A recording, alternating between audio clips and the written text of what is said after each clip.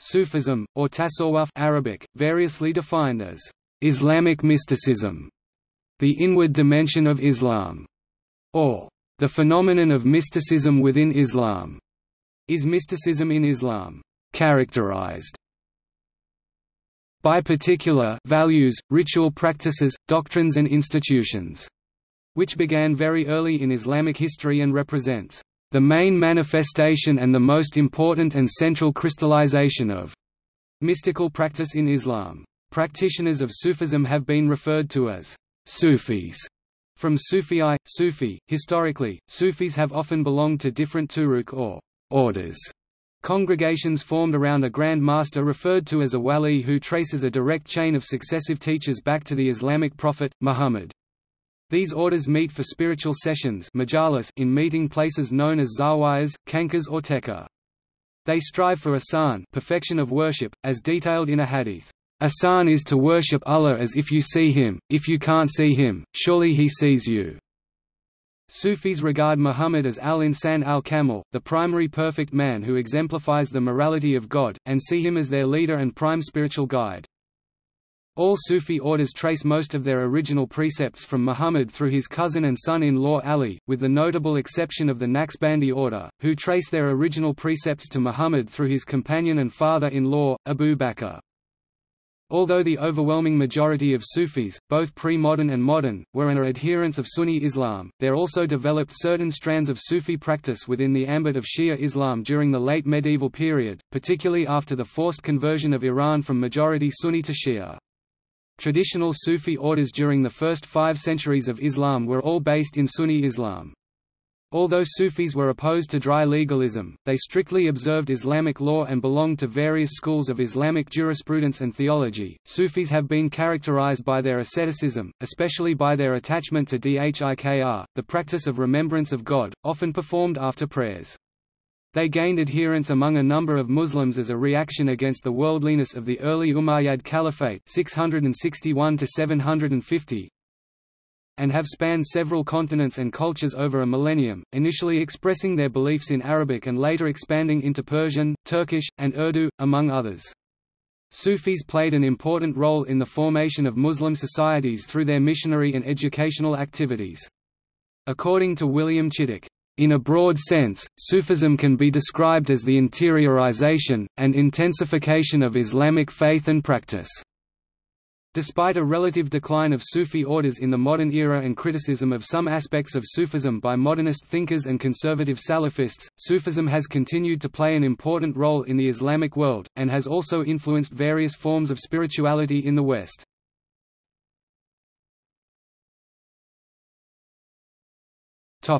Definitions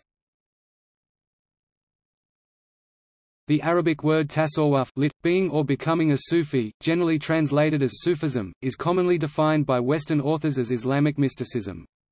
The Arabic term Sufi has been used in Islamic literature with a wide range of meanings, by both proponents and opponents of Sufism. Classical Sufi texts, which stressed certain teachings and practices of the Quran and the Sunnah exemplary teachings and practices of the Islamic prophet Muhammad, gave definitions of tasawwuf that described ethical and spiritual goals and functioned as teaching tools for their attainment. Many other terms that described particular spiritual qualities and roles were used instead in more practical contexts. Some modern scholars have used other definitions of Sufism such as intensification of Islamic faith and practice and process of realizing ethical and spiritual ideals. The term Sufism was originally introduced into European languages in the 18th century by Orientalist scholars, who viewed it mainly as an intellectual doctrine and literary tradition at variance with what they saw as sterile monotheism of Islam. In modern scholarly usage the term serves to describe a wide range of social, cultural, political and religious phenomena associated with Sufis.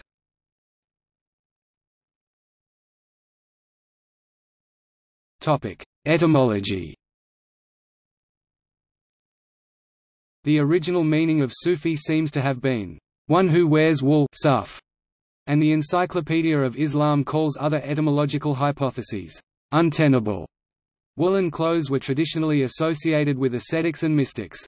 Al-Qushayri and Ibn Khaldun both rejected all possibilities other than suf on linguistic grounds. Another explanation traces the lexical root of the word to safa, which in Arabic means purity, and in this context another similar idea of tasawwuf as considered in Islam is tazkiyah, meaning, self-purification, which is also widely includedly used in Sufism. These two explanations were combined by the Sufi al-Rudabari d. 322 R, who said, "...the Sufi is the one who wears wool on top of purity." Others have suggested that the word comes from the term ahl as suffah, the people of the suffah or the bench, who were a group of impoverished companions of Muhammad who held regular gatherings of dhikr. One of the most prominent companion among them was Abu Huraira. These men and women who sat at al-Masjid an-Nabawi are considered by some to be the first Sufis.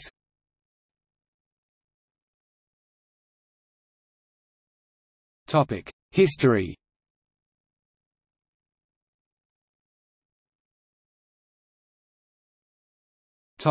Origins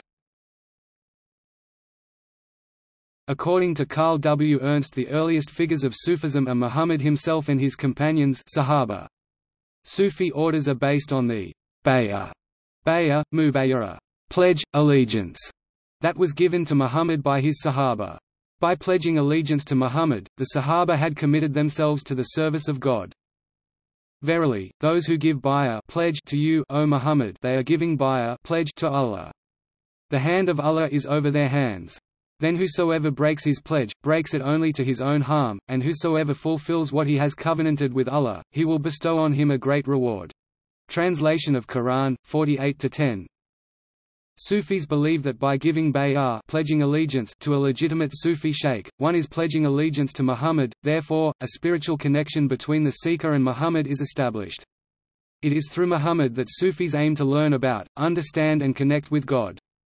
Ali is regarded as one of the major figures amongst the Sahaba who have directly pledged allegiance to Muhammad, and Sufis maintain that through Ali, knowledge about Muhammad and a connection with Muhammad may be attained.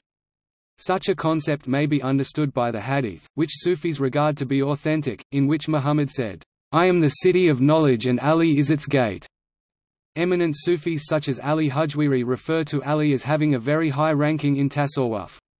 Furthermore, Junayd of Baghdad regarded Ali as sheikh of the principles and practices of Tasawwuf. Historian Jonathan A. C. Brown notes that during the lifetime of Muhammad, some companions were more inclined than others to intensive devotion, pious abstemiousness and pondering the divine mysteries, more than Islam required, such as Abu Dharr al-Ghifari. Hassan al-Basri, a tabi, is considered a «founding figure» in the «science of purifying the heart». Practitioners of Sufism hold that in its early stages of development Sufism effectively referred to nothing more than the internalization of Islam.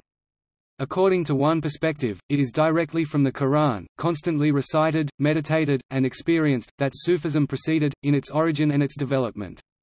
Other practitioners have held that Sufism is the strict emulation of the way of Muhammad, through which the heart's connection to the divine is strengthened. Modern academics and scholars have rejected early Orientalist theories asserting a non Islamic origin of Sufism. The consensus is that it emerged in Western Asia.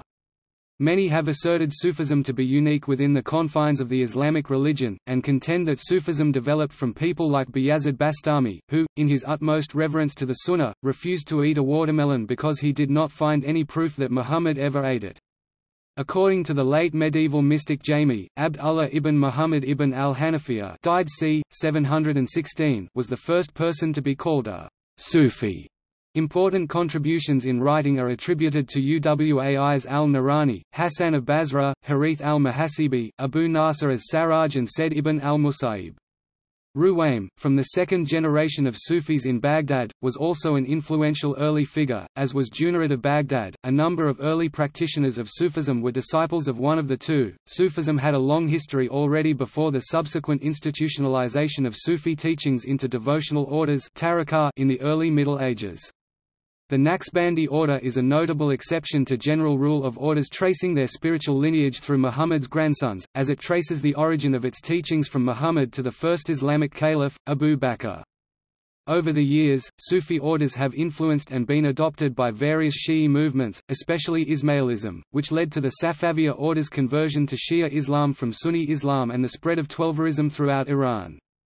Sufi orders include Ba Alawiya, Badawiya, Bektashi, Burhaniya, Chishti, Khalwati, Mevlevi, Naqshbandi, Ni'matullahi, Uwaisi, Qadiriya, Qalandariya, Rifai, Sarwari Qadiri, Shadhiliya, Suhrawardiya, Tijaniya, Zinda Shah Madariya, and others.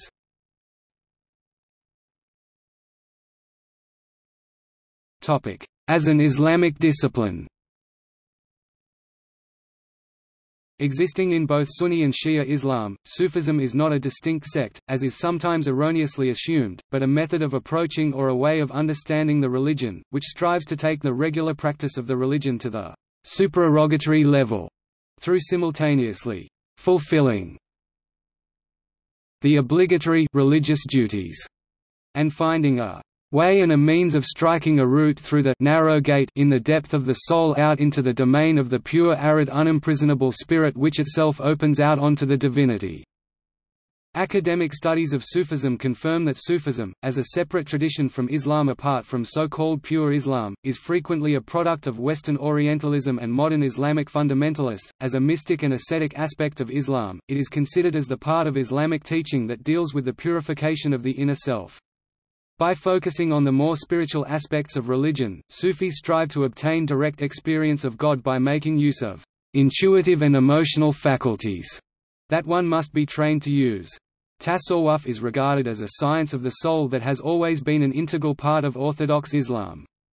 In his Al-Risala al-Safadiyya, Ibn Taymiyyah describes the Sufis as those who belong to the path of the Sunnah and represent it in their teachings and writings. Ibn Taymiyyah's Sufi inclinations and his reverence for Sufis like Abdul Qadir Gilani can also be seen in his hundred-page commentary on Futuh al-Ghayb, covering only five of the 78 sermons of the book, but showing that he considered tasawwuf essential within the life of the Islamic community. In his commentary, Ibn Taymiyyah stresses that the primacy of the Sharia forms the soundest tradition in Tasawwuf, and to argue this point he lists over a dozen early masters, as well as more contemporary sheikhs like his fellow Hanbalis, al-Ansari al-Harawi and Abdul Qadir, and the latter's own sheikh, Hamid al-Dabbas the Upright. He cites the early sheikhs such as al-Fudayl ibn Iyad, Ibrahim ibn Adam, Ma Ruf al-Karki, Siri Sakti, Junayd of Baghdad, and others of the early teachers, as well as Abdul Qadir Gilani, Hamid, Abu al-Bayan and others of the later masters—that they do not permit the followers of the Sufi path to depart from the divinely legislated command and prohibition. Al-Ghazali narrates in Al-Munqidh min al-Dalal, the vicissitudes of life, family affairs and financial constraints engulfed my life and deprived me of the congenial solitude. The heavy odds confronted me and provided me with few moments for my pursuits. This state of affairs lasted for ten years, but whenever I had some spare and congenial moments I resorted to my intrinsic proclivity. During these turbulent years, numerous astonishing and indescribable secrets of life were unveiled to me. I was convinced that the group of Awliya holy mystics is the only truthful group who follow the right path, display best conduct and surpass all sages in their wisdom and insight. They derive all their overt or covert behavior from the illumining guidance of the Holy Prophet, the only guidance worth quest and pursuit.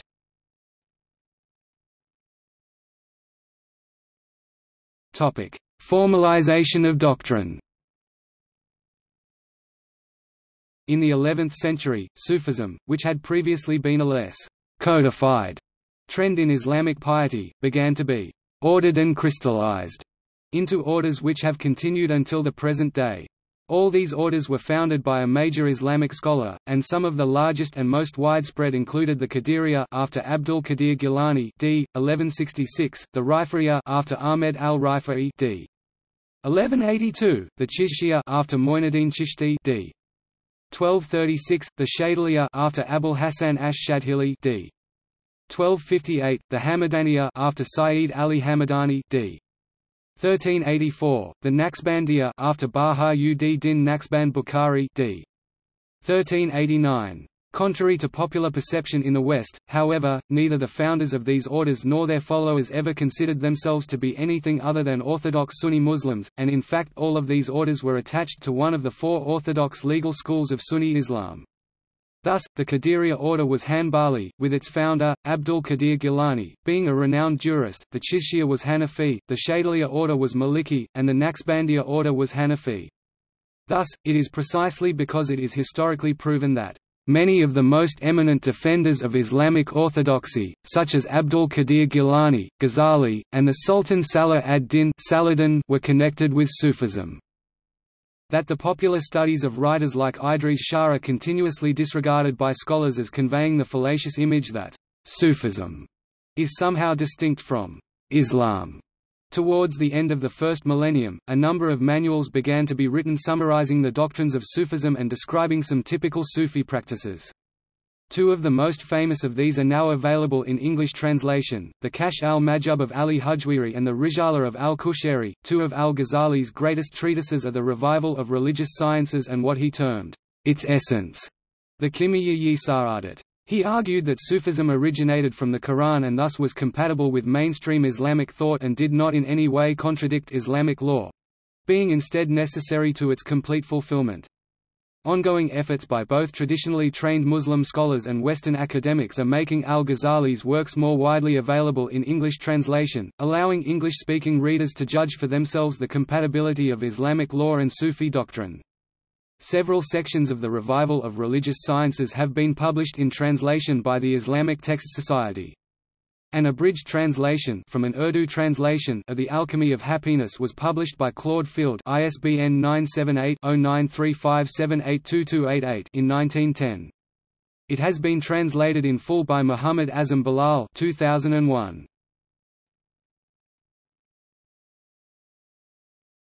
Topic: Growth of influence.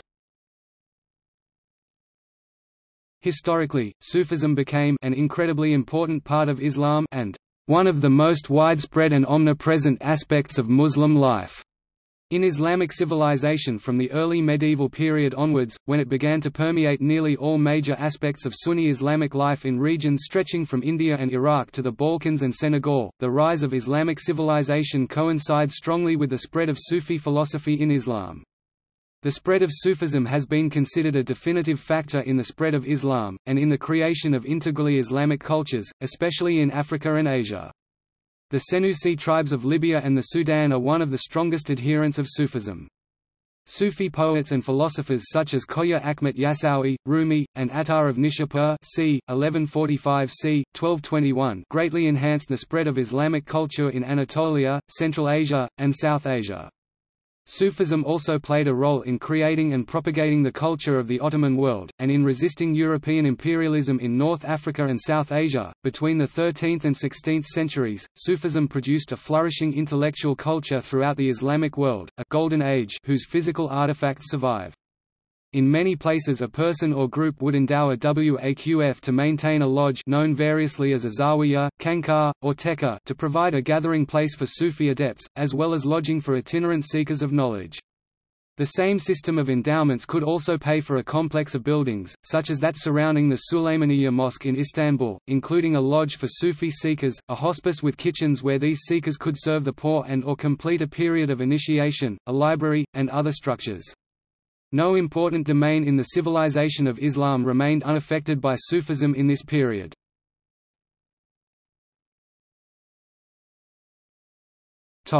Modern era Opposition to Sufi teachers and orders from more literalist and legalist strains of Islam existed in various forms throughout Islamic history. It took on a particularly violent form in the 18th century with the emergence of the Wahhabi movement. Around the turn of the 20th century, Sufi rituals and doctrines also came under sustained criticism from modernist Islamic reformers, liberal nationalists, and, some decades later, socialist movements in the Muslim world. Sufi orders were accused of fostering popular superstitions, resisting modern intellectual attitudes, and standing in the way of progressive reforms. Ideological attacks on Sufism were reinforced by agrarian and educational reforms, as well as new forms of taxation, which were instituted by westernized national governments, undermining the economic foundations of Sufi orders. The extent to which Sufi orders declined in the first half of the 20th century varied from country to country, but by the middle of the century the very survival of the orders and traditional Sufi lifestyle appeared doubtful to many observers. However, defying these predictions, Sufism and Sufi orders have continued to play a major role in the Muslim world, also expanding into Muslim minority countries. Its ability to articulate an inclusive Islamic identity with greater emphasis on personal and small group piety has made Sufism especially well suited for contexts characterized by religious pluralism and secularist perspectives. In the modern world, the classical interpretation of Sunni orthodoxy, which sees in Sufism an essential dimension of Islam alongside the disciplines of jurisprudence and theology, is represented by institutions such as Egypt's Al Azhar University and Zaytuna College, with Al Azhar's current Grand Imam Ahmed El Tayeb recently defining Sunni orthodoxy as being a follower of any of the four schools of legal thought Hanafi, Shafi'i, Maliki or Hanbali and also are the Sufism of Imam Junayd of Baghdad in doctrines, manners and spiritual purification. Current Sufi orders include Alians, Bektashi order, Mevlevi order, Ba Alawiya, Chishti order, Jerahi, Naqshbandi, Mujadidi, Nimatullahi, Qadiriya, Qalandariya, Sawari Qadiriya, Shadhiliya, Suhrawardiya, Saifiya Naqshbandiya, and Uwaisi. The relationship of Sufi orders to modern societies is usually defined by their relationship to governments. Turkey and Persia together have been a center for many Sufi lineages and orders. The Bektashi were closely affiliated with the Ottoman Janissaries and are the heart of Turkey's large and mostly liberal Alevi population. They have spread westwards to Cyprus, Greece, Albania, Bulgaria, Republic of Macedonia, Bosnia and Herzegovina, Kosovo, and, more recently, to the United States, via Albania. Sufism is popular in such African countries as Egypt, Tunisia, Algeria, Morocco, and Senegal, where it is seen as a mystical expression of Islam.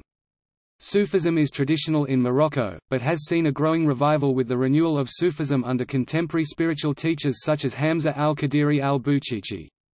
Mbacke suggests that one reason Sufism has taken hold in Senegal is because it can accommodate local beliefs and customs, which tend toward the mystical. The life of the Algerian Sufi master Abdelkader el Jazari is instructive in this regard. Notable as well are the lives of Amadou Bamba and Lhadj Umar Tall in West Africa, and Sheikh Mansour and Imam Shamil in the Caucasus. In the 20th century, some Muslims have called Sufism a superstitious religion which holds back Islamic achievement in the fields of science and technology. A number of Westerners have embarked with varying degrees of success on the path of Sufism. One of the first to return to Europe as an official representative of a Sufi order, and with the specific purpose to spread Sufism in Western Europe, was the Swedish-born wandering Sufi Ivan Agueli. René Guénon, the French scholar, became a Sufi in the early 20th century and was known as Sheikh Abdul Wahid Yahya. His manifold writings defined the practice of Sufism as the essence of Islam, but also pointed to the universality of its message. Other spiritualists, such as George Gurdjieff, may or may not conform to the tenets of Sufism as understood by Orthodox Muslims. Other noteworthy Sufi teachers who have been active in the West in recent years include Bawa Muhaiyaddeen, Inayat Khan, Nazim al-Haqqani, Muhammad Alaeddin Siddiqui, Javad Nurbakhsh, Bulent Rauf, Irina Tweedy, Idries Shah, Muzaffar Ozak, Nahid Angha, and Ali Khayanfar. Currently active Sufi academics and publishers include Llewellyn Vaughan Lee, Nuh Ha Mim Keller, Abdullah Nuruddin Durki, Wahid Ashraf, Omar Taran, Ahmed Abdu R. Rashid and Timothy Winter.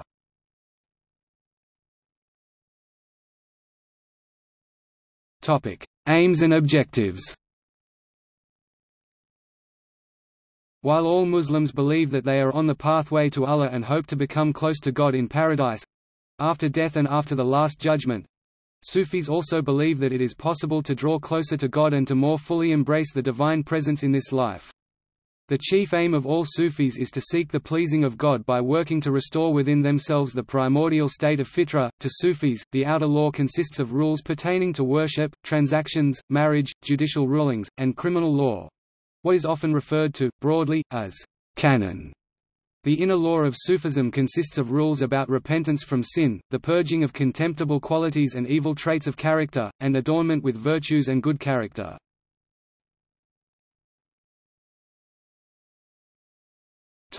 Teachings To the Sufi, it is the transmission of divine light from the teacher's heart to the heart of the student, rather than worldly knowledge, that allows the adept to progress.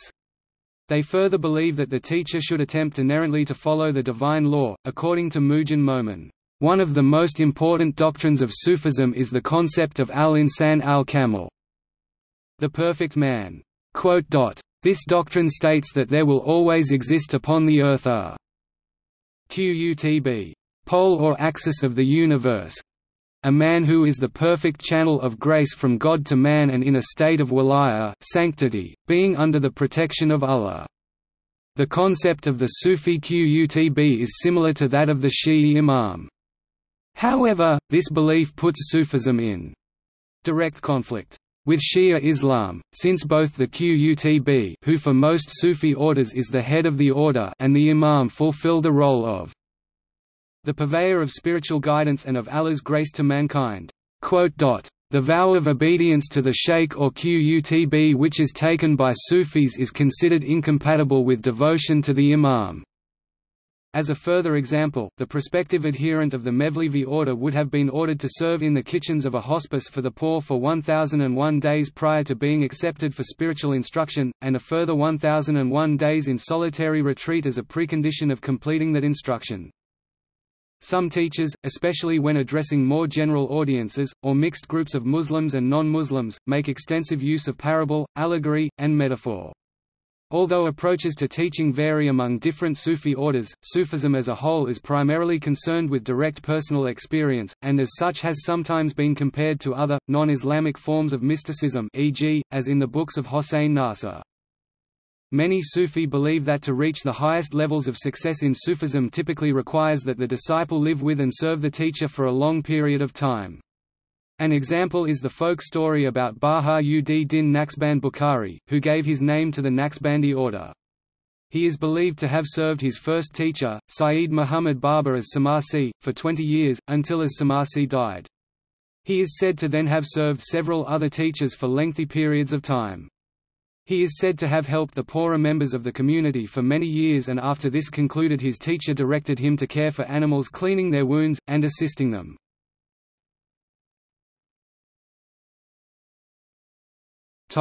Muhammad Devotion to Muhammad is an exceptionally strong practice within Sufism. Sufis have historically revered Muhammad as the prime personality of spiritual greatness. The Sufi poet Sadi Shirazi stated, "...he who chooses a path contrary to that of the Prophet, shall never reach the destination." O Sadi, do not think that one can treat that way of purity except in the wake of the Chosen One. Rumi attributes his self-control and abstinence from worldly desires as qualities attained by him through the guidance of Muhammad. Rumi states, I sewed my two eyes shut from desires for this world and the next, this I learned from Muhammad. Ibn Arabi regards Muhammad as the greatest man and states, Muhammad's wisdom is uniqueness because he is the most perfect existent creature of this human species. For this reason, the command began with him and was sealed with him. He was a prophet while Adam was between water and clay, and his elemental structure is the seal of the prophets. Attar of Nishapur claimed that he praised Muhammad in such a manner that was not done before by any poet, in his book the Ilahi Nama. Fariduddin Attar stated, Muhammad is the exemplar to both worlds, the guide of the descendants of Adam. He is the sun of creation, the moon of the celestial spheres, the all-seeing eye, the seven heavens and the eight gardens of paradise were created for him, he is both the eye and the light in the light of our eyes. Sufis have historically stressed the importance of Muhammad's perfection and his ability to intercede. The persona of Muhammad has historically been and remains an integral and critical aspect of Sufi belief and practice. Bayazid Bastami is recorded to have been so devoted to the Sunnah of Muhammad that he refused to eat a watermelon because he could not establish that Muhammad ever ate one. In the 13th century, a Sufi poet from Egypt, al-Busiri, wrote the al-Kawakib ad-Durriya fi Madkar al-Bariya the celestial lights in praise of the best of creation commonly referred to as Qasidat al-Burda poem of the mantle", in which he extensively praised Muhammad. This poem is still widely recited and sung amongst Sufi groups all over the world. Topic: Sufi beliefs about Muhammad According to Ibn Arabi, Islam is the best religion because of Muhammad. Ibn Arabi regards that the first entity that was brought into existence is the reality or essence of Muhammad al-Haqiqa al-Muhammadiyya. Ibn Arabi regards Muhammad as the supreme human being and master of all creatures. Muhammad is therefore the primary role model for human beings to aspire to emulate. Ibn Arabi believes that God's attributes and names are manifested in this world and that the most complete and perfect display of these divine attributes and names are seen in Muhammad. Ibn Arabi believes that one may see God in the mirror of Muhammad, meaning that the divine attributes of God are manifested through Muhammad. Ibn Arabi maintains that Muhammad is the best proof of God and by knowing Muhammad one knows God. Ibn Arabi also maintains that Muhammad is the master of all of humanity in both this world and the afterlife. In this view, Islam is the best religion, because Muhammad is Islam. Sufis maintain that Muhammad is al-Insan al-Kamil. Sufis believe that aid and support may be received from Muhammad, even today. Sufis believe that Muhammad listens to them when they call upon him. Sufis strive towards having a relationship with Muhammad and seeking to see Muhammad in a dream is a common Sufi practice.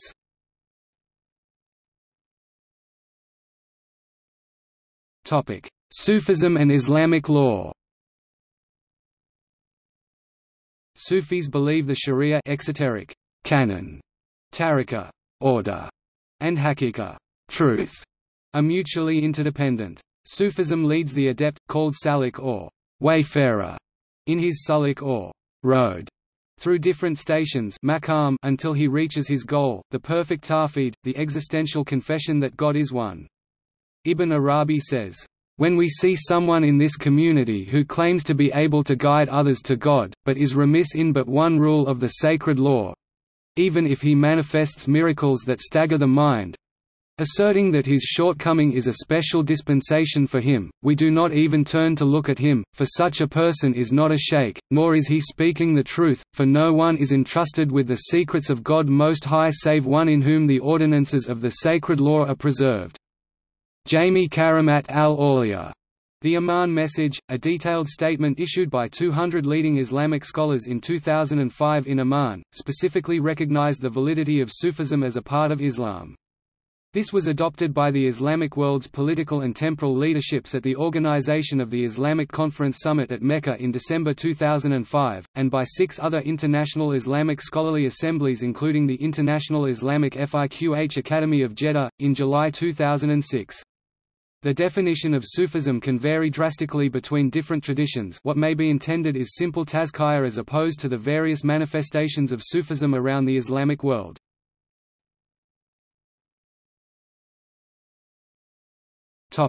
Traditional Islamic thought and Sufism The literature of Sufism emphasizes highly subjective matters that resist outside observation, such as the subtle states of the heart. Often these resist direct reference or description, with the consequence that the authors of various Sufi treatises took recourse to allegorical language. For instance, much Sufi poetry refers to intoxication, which Islam expressly forbids. This usage of indirect language and the existence of interpretations by people who had no training in Islam or Sufism led to doubts being cast over the validity of Sufism as a part of Islam. Also, some groups emerged that considered themselves above the Sharia and discussed Sufism as a method of bypassing the rules of Islam in order to attain salvation directly. This was disapproved of by traditional scholars. For these and other reasons, the relationship between traditional Islamic scholars and Sufism is complex and a range of scholarly opinion on Sufism in Islam has been the norm. Some scholars, such as al-Ghazali, helped its propagation while other scholars opposed it. William Chittick explains the position of Sufism and Sufis this way, in short, Muslim scholars who focused their energies on understanding the normative guidelines for the body came to be known as jurists, and those who held that the most important task was to train the mind in achieving correct understanding came to be divided into three main schools of thought, theology, philosophy, and Sufism. This leaves us with the third domain of human existence, the spirit. Most Muslims who devoted their major efforts to developing the spiritual dimensions of the human person came to be known as Sufis.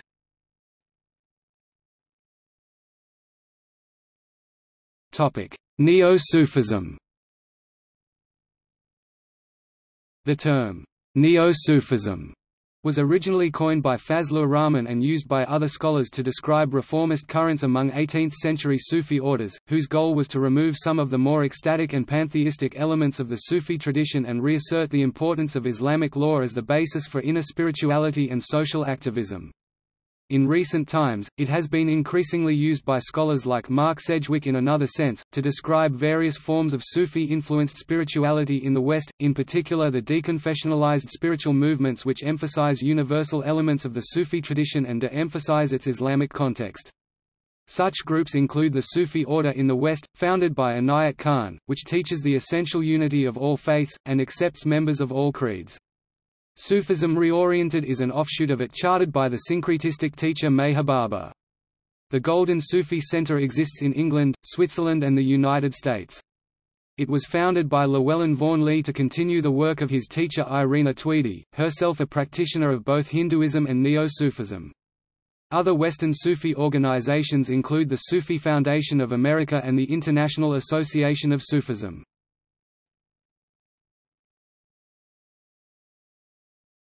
Topic: Theoretical perspectives. Traditional Islamic scholars have recognized two major branches within the practice of Sufism, and use this as one key to differentiating among the approaches of different masters and devotional lineages. On the one hand there is the order from the signs to the signifier, or from the arts to the artisan. In this branch, the seeker begins by purifying the lower self of every corrupting influence that stands in the way of recognizing all of creation as the work of God, as God's active self-disclosure or theophany. This is the way of Imam al-Ghazali and of the majority of the Sufi orders. On the other hand, there is the order from the signifier to his signs, from the artisan to his works. In this branch the seeker experiences divine attraction jadba, and is able to enter the order with a glimpse of its endpoint, a direct apprehension of the divine presence towards which all spiritual striving is directed. This does not replace the striving to purify the heart, as in the other branch, it simply stems from a different point of entry into the path. This is the way primarily of the masters of the Naqshbandi and Shadhili orders. Contemporary scholars may also recognize a third branch, attributed to the late Ottoman scholar Said Nursi and explicated in his vast Quran commentary called the Risale-i Nur. This approach entails strict adherence to the way of Muhammad, in the understanding that this want, or sunnah, proposes a complete devotional spirituality adequate to those without access to a master of the Sufi way.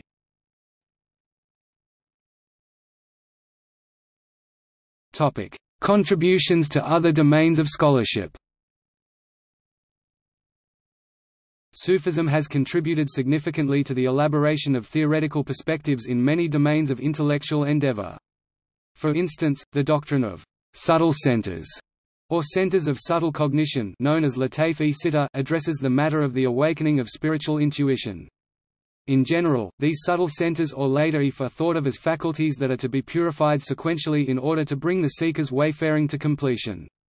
A concise and useful summary of this system from a living exponent of this tradition has been published by Muhammad Emin Ur. Sufi psychology has influenced many areas of thinking both within and outside of Islam, drawing primarily upon three concepts Jafar al-Sadiq both an imam in the Shia tradition and a respected scholar and link in chains of Sufi transmission in all Islamic sects held that human beings are dominated by a lower self called the nafs self, ego, person, a faculty of spiritual intuition called the qalb heart, and ruh soul. These interact in various ways, producing the spiritual types of the tyrant dominated by nafs, the person of faith and moderation dominated by the spiritual heart, and the person lost in love for God dominated by the ruh. Of note with regard to the spread of Sufi psychology in the West is Robert Frager, a Sufi teacher authorized in the Khalwati Jerrahi order. Frager was a trained psychologist, born in the United States, who converted to Islam in the course of his practice of Sufism and wrote extensively on Sufism and psychology. Sufi cosmology and Sufi metaphysics are also noteworthy areas of intellectual accomplishment.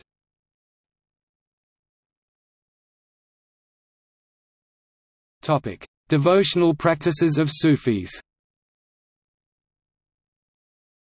The devotional practices of Sufis vary widely.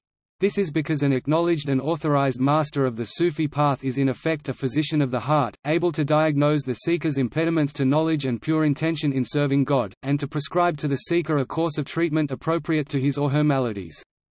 The consensus among Sufi scholars is that the seeker cannot self-diagnose, and that it can be extremely harmful to undertake any of these practices alone and without formal authorization. Prerequisites to practice include rigorous adherence to Islamic norms, ritual prayer in its five prescribed times each day, the fast of Ramadan, and so forth.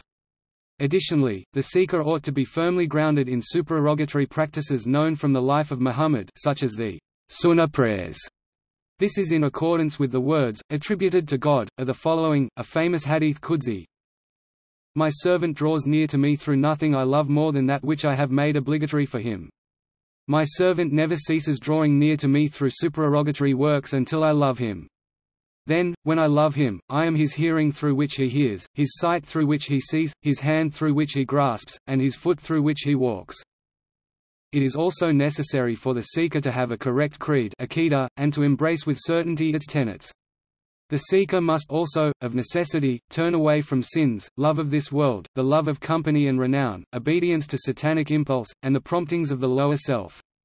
The way in which this purification of the heart is achieved is outlined in certain books, but must be prescribed in detail by a Sufi master. The seeker must also be trained to prevent the corruption of those good deeds which have accrued to his or her credit by overcoming the traps of ostentation, pride, arrogance, envy, and long hopes, meaning the hope for a long life allowing us to mend our ways later, rather than immediately, here and now.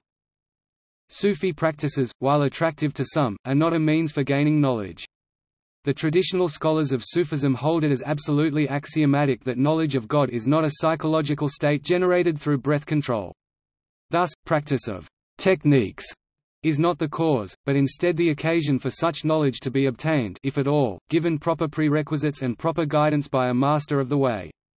Furthermore, the emphasis on practices may obscure a far more important fact, the seeker is, in a sense, to become a broken person, stripped of all habits through the practice of in the words of Imam al-Ghazali solitude, silence, sleeplessness, and hunger. Magic may have also been a part of some Sufi practices, notably in India.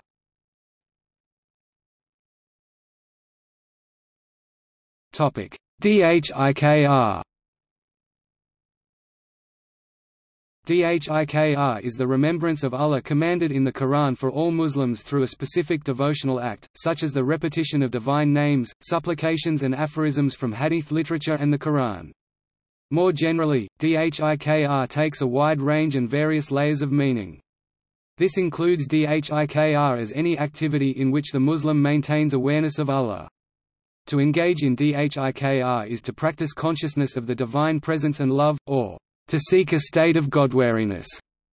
The Quran refers to Muhammad as the very embodiment of Dhikr of Allah 65 11 Some types of Dhikr are prescribed for all Muslims and do not require Sufi initiation or the prescription of a Sufi master because they are deemed to be good for every seeker under every circumstance. The Dhikr may slightly vary among each order. Some Sufi orders engage in ritualized Dhikr ceremonies, or sema. Sema includes various forms of worship such as recitation, singing the most well-known being the qawwali music of the Indian subcontinent, instrumental music, dance most famously the Sufi whirling of the Mevlevi order, incense, meditation, ecstasy, and trance. Some Sufi orders stress and place extensive reliance upon dhikr. This practice of dhikr is called dhikr e-qulb, invocation of Allah within the heartbeats. The basic idea in this practice is to visualize the Allah as having been written on the disciple's heart.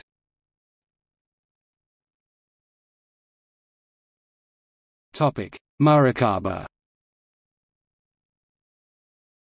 The practice of muraqabah can be likened to the practices of meditation attested in many faith communities. While variation exists, one description of the practice within a Naqshbandi lineage reads as follows he is to collect all of his bodily senses in concentration, and to cut himself off from all preoccupation and notions that inflict themselves upon the heart. And thus he is to turn his full consciousness towards God Most High while saying three times, Allahi anta maksudi wa ridaka matlabai. My God, you are my goal and your good pleasure is what I seek.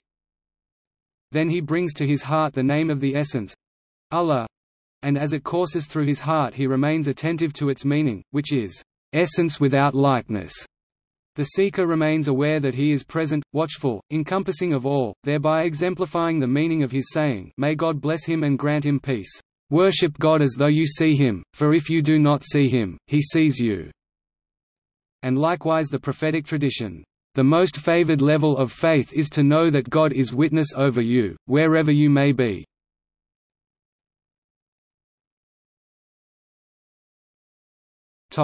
Sufi whirling Sufi whirling or Sufi spinning is a form of sama or physically active meditation which originated among Sufis, and which is still practiced by the Sufi dervishes of the Mevlevi order. It is a customary dance performed within the sema, through which dervishes also called semazens, from Persian aim to reach the source of all perfection, or kamal.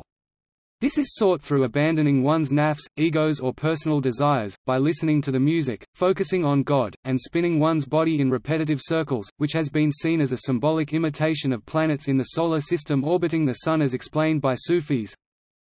In the symbolism of the Sema ritual, the Semazen's camel's hair hat represents the tombstone of the ego, his wide, white skirt represents the ego's shroud. By removing his black cloak he is spiritually reborn to the truth. At the beginning of the Sema, by holding his arms crosswise, the Semazen appears to represent the number one, thus testifying to God's unity. While whirling, his arms are open, his right arm is directed to the sky, ready to receive God's beneficence, his left hand, upon which his eyes are fastened, is turned toward the earth. The semazen conveys God's spiritual gift to those who are witnessing the sema. Revolving from right to left around the heart, the semazen embraces all humanity with love. The human being has been created with love in order to love. Mevlana Jalaluddin Rumi says, all loves are a bridge to divine love. Yet, those who have not had a taste of it do not know. Music Qawwali is a form of Sufi devotional music popular in South Asia, usually performed at dargahs. Sufi saint Amir Khusro is said to have infused Persian, Arabic Turkish and Indian classical musical styles to create the genre in the 13th century. The songs are classified into Hamd, Na, Manqabat, Marsiya or Ghazal, among others. The songs lasting for about 15 to 30 minutes, are performed by a group of singers, and instruments including the harmonium, tabla and dholak are used. Pakistani singing maestro Nusrat Fateh Ali Khan is credited with popularizing Qawwali all over the world.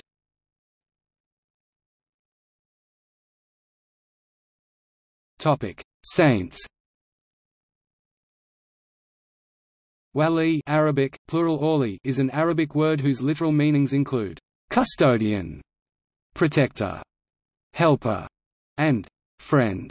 In the vernacular, it is most commonly used by Muslims to indicate an Islamic saint, otherwise referred to by the more literal, friend of God. In the traditional Islamic understanding of saints, the saint is portrayed as someone marked by special divine favor and holiness, and who is specifically chosen by God and endowed with exceptional gifts, such as the ability to work miracles. The doctrine of saints was articulated by Islamic scholars very early on in Muslim history, and particular verses of the Quran and certain hadith were interpreted by early Muslim thinkers as documentary evidence of the existence of saints. Since the first Muslim hagiographies were written during the period when Sufism began its rapid expansion, many of the figures who later came to be regarded as the major saints in Sunni Islam were the early Sufi mystics, like Hassan of Basra d. 728, Farqad Sabakhi d. 729, Dawood Tai d. 777–81 Rabia al-Adawiyya d. 801, Marikaki d. 815, and Junayd of Baghdad d. 910. From the 12th to the 14th century, the general veneration of saints, among both people and sovereigns, reached its definitive form with the organization of Sufism into orders or brotherhoods. In the common expressions of Islamic piety of this period, the saint was understood to be a contemplative whose state of spiritual perfection found permanent expression in the teaching bequeathed to his disciples.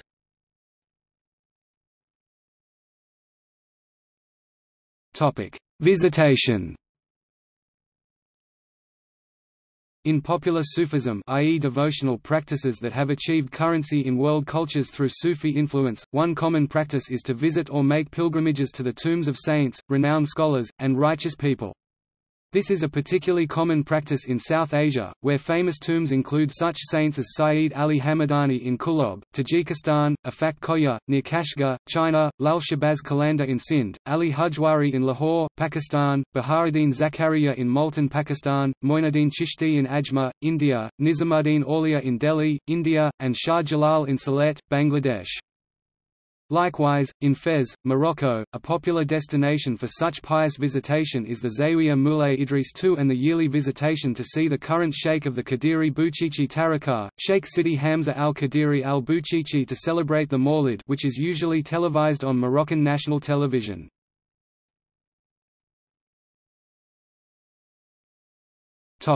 Miracles In Islamic mysticism, karamat Arabic, karamat, place of karama, lit. generosity, high-mindedness refers to supernatural wonders performed by Muslim saints. In the technical vocabulary of Islamic religious sciences, the singular form karama has a sense similar to charism, a favor or spiritual gift freely bestowed by God.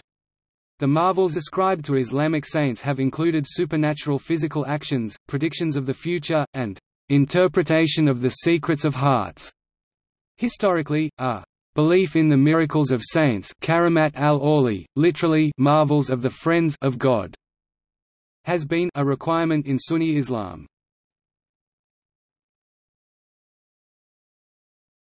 Topic: Persecution. Persecution of Sufis and Sufism has included destruction of Sufi shrines and mosques, suppression of orders, and discrimination against adherents in a number of Muslim-majority countries. The Turkish Republican state banned all Sufi orders and abolished their institutions in 1925 after Sufis opposed the new secular order. The Iranian Islamic Republic has harassed Shia Sufis, reportedly for their lack of support for the government doctrine of governance of the jurist i.e., that the supreme Shiite jurist should be the nation's political leader. In most other Muslim countries, attacks on Sufis and especially their shrines have come from Salafis who believe that practices such as celebration of the birthdays of Sufi saints, and dhikr remembrance of God ceremonies are bid'ah or impure innovation, and polytheistic shirk. At least 305 people were killed and more than 100 wounded during a November 2017 attack on a mosque in Sinai.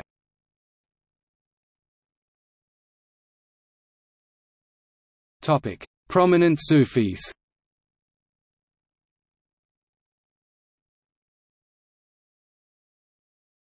Topic: Abdul Qadir Gilani. Abdul Qadir Gilani (1077–1166) was a Persian Hanbali jurist and Sufi based in Baghdad. Qadiriya was his patronym. Gilani spent his early life in Naif, the town of his birth. There, he pursued the study of Hanbali law. Abu Sa'id Mubarak Makhzomi gave Gilani lessons in fiqh. He was given lessons about hadith by Abu Bakr ibn Muzaffar. He was given lessons about tafsir by Abu Muhammad Ja'far, a commentator. His Sufi spiritual instructor was Abul Khair Hammad ibn Muslim al-Dabbas. After completing his education, Gilani left Baghdad. He spent 25 years as a reclusive wanderer in the desert regions of Iraq. In 1127, Gilani returned to Baghdad and began to preach to the public. He joined the teaching staff of the school belonging to his own teacher, Abu Sa'id Mubarak Makhzomi, and was popular with students. In the morning he taught hadith and tafsir, and in the afternoon he held discourse on the science of the heart and the virtues of the Quran.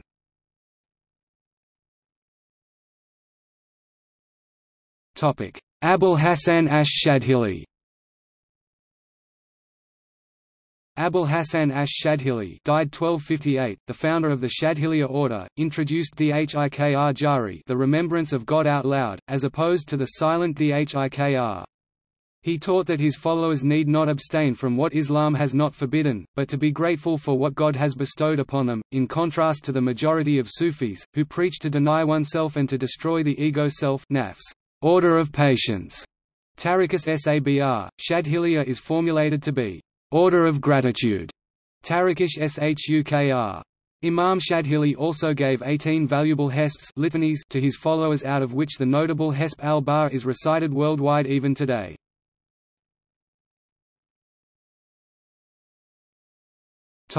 Ahmad al-Tijani Ahmad al-Tijani Abu al-Abbas Ahmad ibn Muhammad at-Tijani or Ahmed Tijani (1735–1815) in Arabic, Sidi Ahmed Tijani, is the founder of the Tijaniya Sufi order. He was born in a Berber family in Ain Madhi, present-day Algeria, and died in Fez, Morocco, at the age of 80.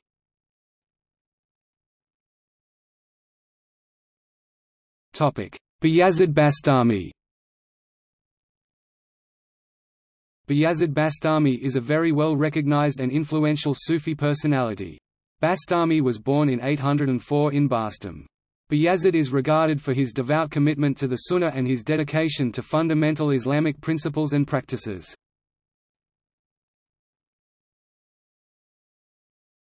Bawa Muhaiyaddeen Bawa Muhaiyaddeen died 1986 is a Sufi sheikh from Sri Lanka. He was first found by a group of religious pilgrims in the early 1900s meditating in the jungles of Kataragama in Sri Lanka Ceylon. Auden inspired by his personality and the depth of his wisdom, he was invited to a nearby village. Since that time, people of all walks of life from paupers to prime ministers belonging to all religious and ethnic backgrounds have flocked to see Sheikh Bawa Muhaiyaddeen to seek comfort, guidance and help. Sheikh Bawa Muhaiyaddeen tirelessly spent the rest of his life preaching, healing and comforting the many souls that came to see him.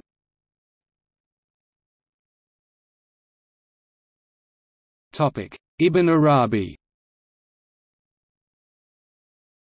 Muhayyaddin Muhammad b. Ali ibn Arabi or Ibn al-Arabi R 561 R 638, July 28, 1165 to November 10, 1240 is considered to be one of the most important Sufi masters, although he never founded any order tariqa. His writings, especially al-Futuhat al-Makkiyah and Fusus al-Hikam, have been studied within all the Sufi orders as the clearest expression of tawhid divine unity, though because of their recondite nature they were often only given to initiates. Later those who followed his teaching became known as the school of Wahdat al-Wujud the oneness of being. He himself considered his writings to have been divinely inspired. As he expressed the way to one of his close disciples, his legacy is that you should never ever abandon your servanthood and that there may never be in your soul a longing for any existing thing.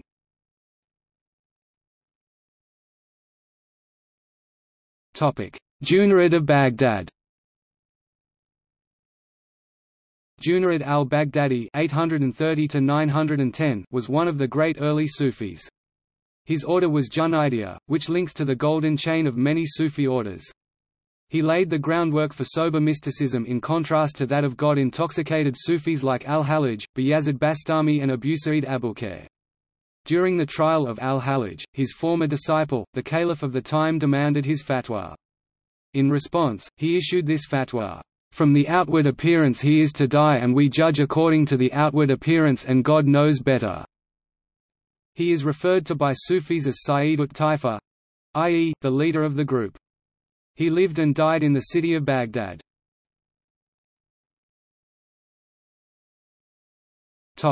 Mansur al-Hallaj Mansur al-Hallaj died 922 is renowned for his claim, Ana lhaqq, I am the truth. His refusal to recant this utterance, which was regarded as apostasy, led to a long trial. He was imprisoned for 11 years in a Baghdad prison, before being tortured and publicly dismembered on March 26, 922. He is still revered by Sufis for his willingness to embrace torture and death rather than recant. It is said that during his prayers, he would say, O Lord! You are the guide of those who are passing through the valley of bewilderment. If I am a heretic, enlarge my heresy.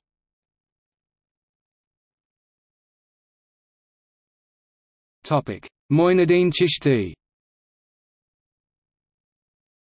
Khwaja Moinuddin Chishti was born in 1141 and died in 1236. Also known as Garib Nawaz, benefactor of the poor, he is the most famous Sufi saint of the Chishti order. Moinuddin Chishti introduced and established the order in the Indian subcontinent. The initial spiritual chain or silsila of the Chishti order in India, comprising Moinuddin Chishti, Bakhtiar Kaki, Baba Ferid, Nizamuddin Auliya each successive person being the disciple of the previous one, constitutes the great Sufi saints of Indian history. Moinuddin Chishti turned towards India, reputedly after a dream in which Muhammad blessed him to do so. After a brief stay at Lahore, he reached Ajmer along with Sultan Shahab ud Din Muhammad Ghori, and settled down there. In Ajmer, he attracted a substantial following, acquiring a great deal of respect amongst the residents of the city. Moinuddin Chishti practiced the Sufi sulh-e-kul peace to all concept to promote understanding between Muslims and non-Muslims.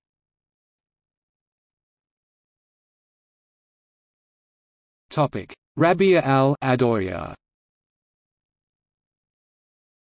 Rabia al-Adawiyya or Rabia of Basra died 801 was a mystic who represents countercultural elements of Sufism, especially with regards to the status and power of women. Prominent Sufi leader Hassan of Basra is said to have castigated himself before her superior merits and sincere virtues. Rabia was born of very poor origin, but was captured by bandits at a later age and sold into slavery. She was however released by her master when he awoke one night to see the light of sanctity shining above her head. Rabia al-Adawiyya is known for her teachings and emphasis on the centrality of the love of God to a holy life.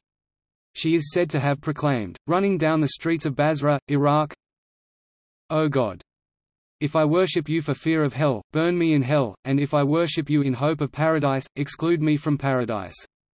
But if I worship you for your own sake, grudge me not your everlasting beauty.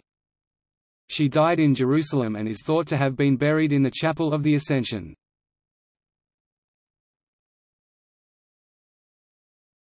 Topic: Shrines.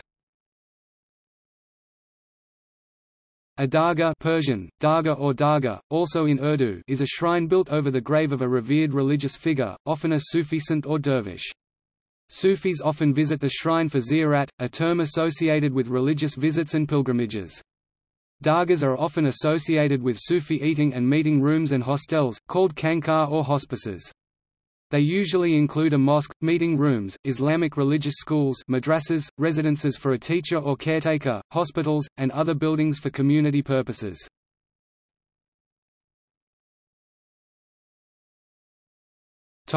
Major Sufi orders The term tariqa is used for a school or order of Sufism, or especially for the mystical teaching and spiritual practices of such an order with the aim of seeking haqiqah ultimate truth. A tariqa has a murshid guide who plays the role of leader or spiritual director. The members or followers of a tariqa are known as muridan singular murid, meaning, desirous, viz. desiring the knowledge of knowing God and loving God.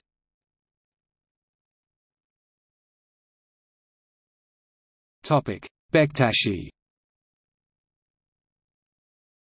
The Bektashi order was founded in the 13th century by the Islamic Saint Haji Bektash Veli, and greatly influenced during its formulative period by the Hurufi Ali al-Ala in the 15th century and reorganized by Balam Sultan in the 16th century.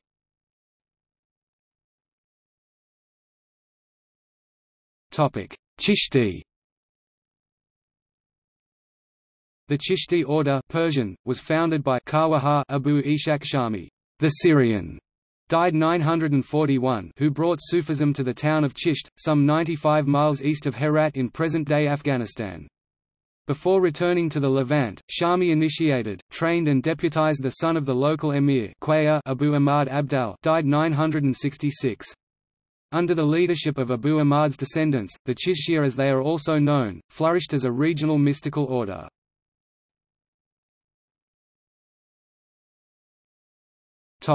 Kubrawiya The Kubrawiya order is a Sufi order tariqa, named after its 13th-century founder Najmuddin Kubra. The Kubrawiya Sufi order was founded in the 13th century by Najmuddin Kubra in Bukhara in modern Uzbekistan.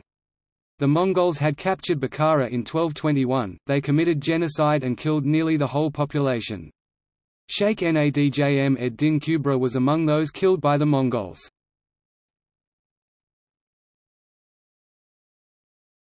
Mawlawiyya The Mevlevi order is better known in the West as the whirling dervishes.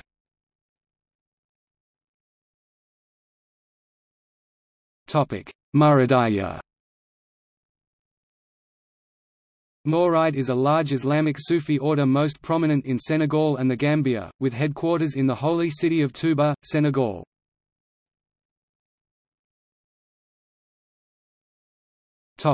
Naqshbandi The Naqshbandi order is one of the major Sufi orders of Islam, previously known as Siddiqiyya as the order stems from Muhammad through Abu Bakr as Siddiq. It is considered by some to be a sober order known for its silent dhikr remembrance of God rather than the vocalized forms of dhikr common in other orders. The word Naqshbandi is Persian, taken from the name of the founder of the order, Baha-ud-Din Naqshband Bukhari. Some have said that the translation means, "...related to the image maker." Some also consider it to mean, "...pattern maker," rather than, "...image maker," and interpret, "...Naqshbandi," to mean, "...reformer of patterns," and others consider it to mean, "...way of the chain," or "...silsilah al-dahab."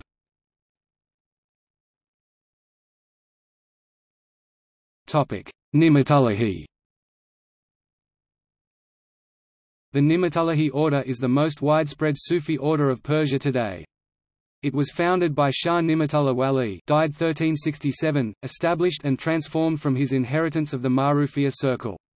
There are several suborders in existence today, the most known and influential in the West following the lineage of Dr. Javad Nurbakhsh who brought the order to the West following the 1979 revolution in Iran.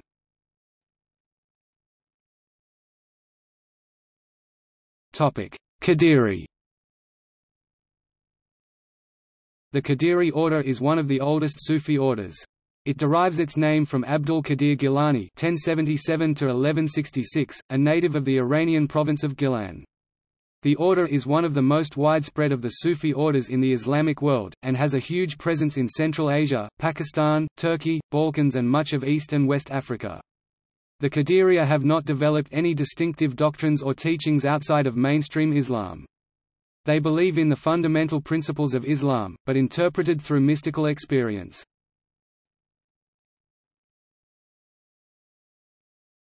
Senussi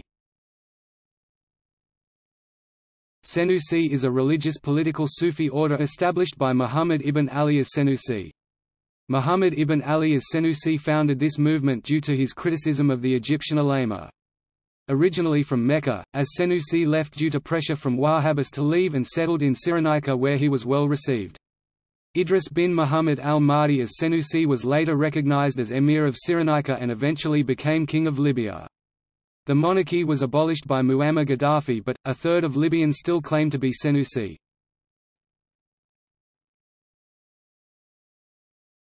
Shadhiliya The Shadhili is a Sufi order founded by Abu el-Hasan ash-Shadhili. Ikhwans murids, followers of the Shadhiliya are often known as Shadhilis. Fasiyya a branch of Shadhiliya founded by Imam al-Fasi of Makkah is the widely practiced Sufi order in Saudi Arabia, Egypt, India, Sri Lanka, Bangladesh, Pakistan, Malaysia, Singapore, Mauritius, Indonesia and other Middle East countries.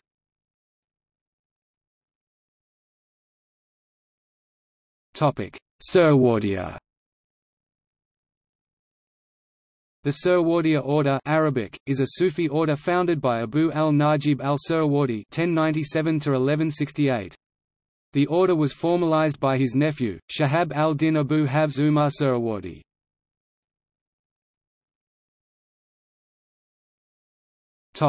Tijaniya The Tijaniya order attach a large importance to culture and education, and emphasize the individual adhesion of the disciple murid.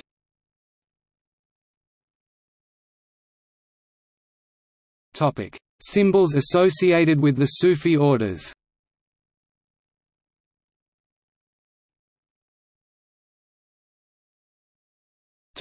Reception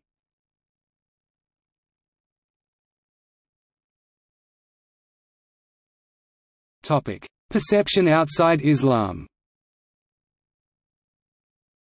Sufi mysticism has long exercised a fascination upon the Western world, and especially its Orientalist scholars. Figures like Rumi have become well known in the United States, where Sufism is perceived as a peaceful and apolitical form of Islam. Orientalists have proposed a variety of diverse theories pertaining to the nature of Sufism, such as it being influenced by Neoplatonism or as an Aryan historical reaction against Semitic cultural influence. Hossein Nasr states that the preceding theories are false according to the point of view of Sufism. The Islamic Institute in Mannheim, Germany, which works towards the integration of Europe and Muslims, sees Sufism as particularly suited for interreligious dialogue and intercultural harmonization in democratic and pluralist societies. It has described Sufism as a symbol of tolerance and humanism. non-dogmatic, flexible and nonviolent. According to Philip Jenkins, a professor at Baylor University, the Sufis are much more than tactical allies for the West, they are, potentially, the greatest hope for pluralism and democracy within Muslim nations. Likewise, several governments and organizations have advocated the promotion of Sufism as a means of combating intolerant and violent strains of Islam. For example, the Chinese and Russian governments openly favor Sufism as the best means of protecting against Islamist subversion. The British government, especially following the 7 July 2005 London bombings, has favoured Sufi groups in its battle against Muslim extremist currents. The influential RAND Corporation, an American think tank, issued a major report titled, "'Building Moderate Muslim Networks' which urged the U.S. government to form links with and bolster Muslim groups that opposed Islamist extremism.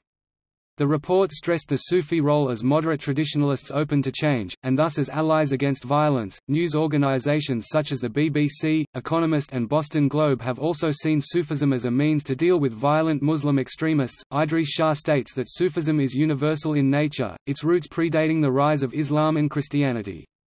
He quotes Sir Suhrawardy as saying that, this Sufism was a form of wisdom known to and practiced by a succession of sages including the mysterious ancient Hermes of Egypt. And that Ibn al-Farid stresses that Sufism lies behind and before systematization, that our wine existed before what you call the grape and the vine the school and the system. Shah's views have however been rejected by modern scholars.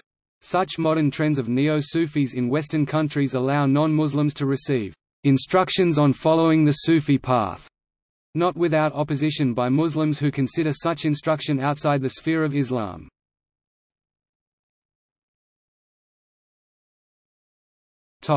Influence on Judaism Both Judaism and Islam are monotheistic. There is evidence that Sufism did influence the development of some schools of Jewish philosophy and ethics. In the first writing of this kind, we see Kitab al-Hidayah ila Fara'id al-Qulub, Duties of the Heart, of Bahya ibn Paquda. This book was translated by Judah ibn Tibbon into Hebrew under the title, Hobot ha-Lababit, the precepts prescribed by the Torah number 613 only, those dictated by the intellect are innumerable. It is noteworthy that in the ethical writings of the Sufis al-Qushayri and al-Harawi there are sections which treat of the same subjects as those treated in the Hovot ha-Lababit and which bear the same titles, e.g., Bab al-Tawakkul, Bab al-Tawbah, Bab al-Muhasabah, Bab al-Tawadu, Bab al-Zuhd. In the ninth gate, Bahya directly quotes sayings of the Sufis, whom he calls Perushim. However, the author of the Hobot ha-Lababit did not go so far as to approve of the asceticism of the Sufis, although he showed a marked predilection for their ethical principles. Abraham ben Moses ben Maimon, the son of the Jewish philosopher Maimonides, believed that Sufi practices and doctrines continue the tradition of the biblical prophets.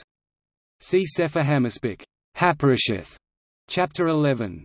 Har Mma Abik.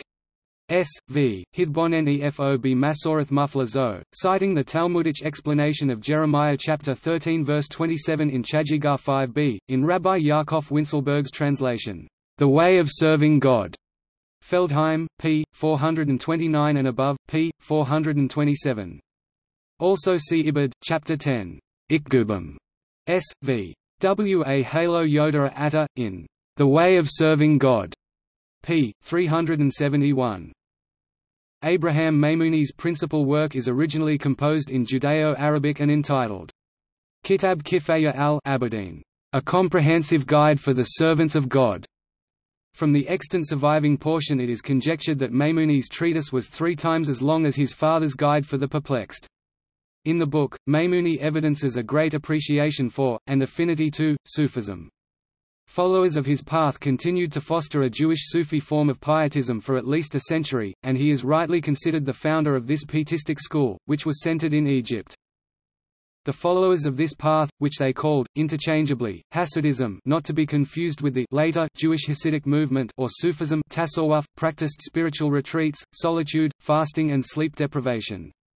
The Jewish Sufis maintained their own brotherhood, guided by a religious leader, Like a Sufi sheikh, the Jewish Encyclopedia in its entry on Sufism states that the revival of Jewish mysticism in Muslim countries is probably due to the spread of Sufism in the same geographical areas. The entry details many parallels to Sufic concepts found in the writings of prominent Kabbalists during the Golden Age of Jewish culture in Spain.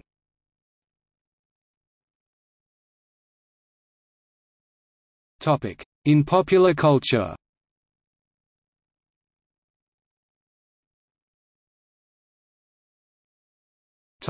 Music In 2005, Indian musician Rabbi Shergill released a Sufi rock song called Bulla Ki Jana, which became a chart topper in India and Pakistan.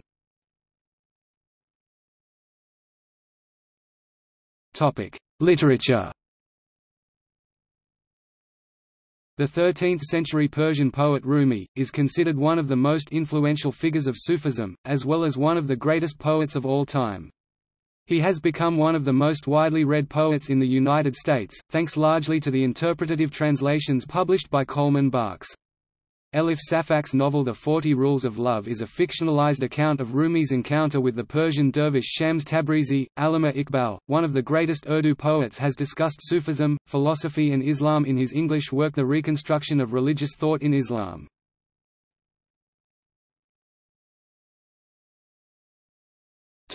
See also.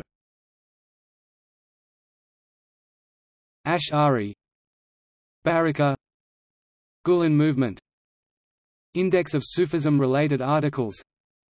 List of modern Sufi scholars. List of Sufi saints. Maturidi. Shab-e Barat. Tawassul Tazkiah World Sufi Forum